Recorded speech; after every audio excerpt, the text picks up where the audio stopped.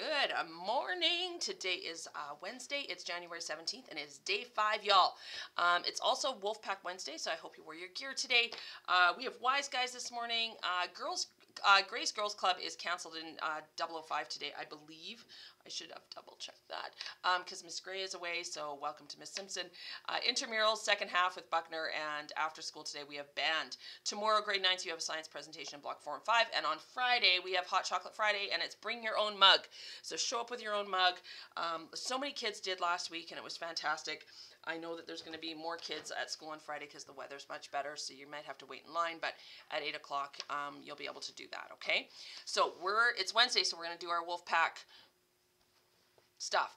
And this particular chapter says, "Bring it all," and and it's about leading with humility, um, and really. Uh, really encouraging people around us to lead as well and, and how you lead um, in this space and, and helping others uh, lead versus just trying to get followers. And I, I feel like when I think about that, I think a little bit of social media, um, how sometimes in social media we just do things um, to get followers or to get likes, and this is different. This is about um, not wanting, uh, doing things not for your own glory. Um, so this is the call to the wolf pack um, because this isn't always comfortable, y'all. Um, it requires courage and humility.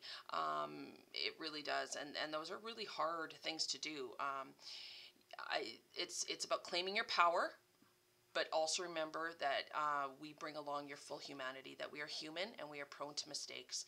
Uh, clear the way for others to do the same. So sit in a space of grace for others when they make mistakes.